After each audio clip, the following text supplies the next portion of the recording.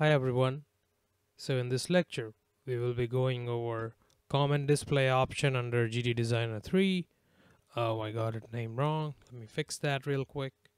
Okay, so to get the comment display, you go under Object and go to comment display and you have three options. You can either pick up a bit comment or a word comment or a simple comment. We'll start with the first one, which is bit comment. We'll bring it up here and if you see it's set up for uh, it defaults to the first uh, comment list that you have and it's based on a bit so you can only have two states of it. So here you can give it a shape. This more or less acts like an indicator or a lamp since you only have two bits. And you can come up here and you can do a comment number and it can point to a screen. Also if you notice up here you can change the comment group. Rather than being fixed you can make it to a device so you could switch your comment based on for example what screen you're on or what manual function you're trying to run and show the comments for that and things of that nature.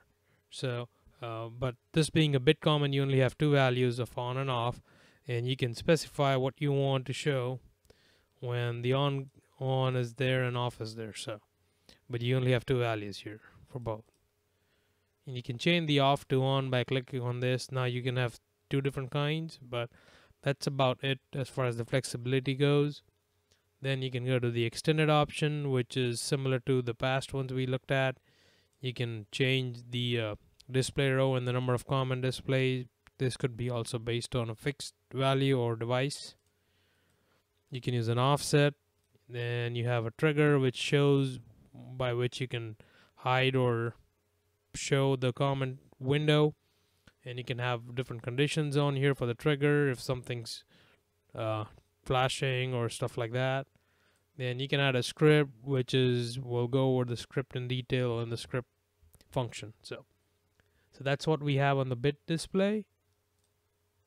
Now we'll try and bring a uh, a word display here. So we go to this we drop in.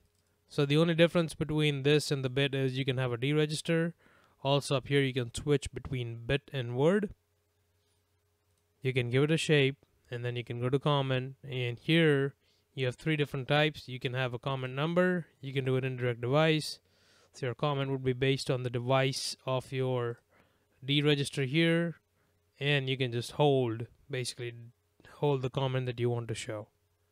So usually you would use the indirect device number a lot more than anything else and down here you can do a preview. So by doing indirect device it's going to point to the D register here and you you can use this for like your uh, sequencing like what's happening on the machine. If it's on for example if you're running a machine it's on step 5 you're waiting on a operator input then you you may go to step 10 so you would have your sequence register here and you would have comments written up here.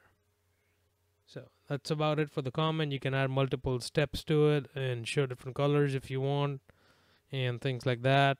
So yeah that's what we have as far as the comment goes and uh, yeah that's about it on the word comment display. Now the third option here you have is a simple comment. Like it means it's basic it's a simple comment display. You don't have a lot of functions that you had on the other ones the only thing you have is you can control the display or hiding based on a register. So that's about it on the simple comment. There's not a whole lot here so. So yeah I'll see you in the next class now. Thank you